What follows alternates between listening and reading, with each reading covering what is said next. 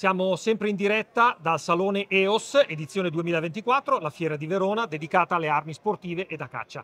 Siamo allo stand della Bignami in compagnia di Philip Gruber con eh, uno dei più recenti arrivi. Si tratta della carabina Taurus T4.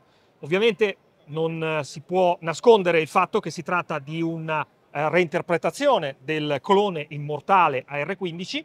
In questo caso parliamo di un'arma eh, stile classico, diciamo, con upper e lower di tipo forgiato, canna lunga 14,5 oppure 16,5 pollici.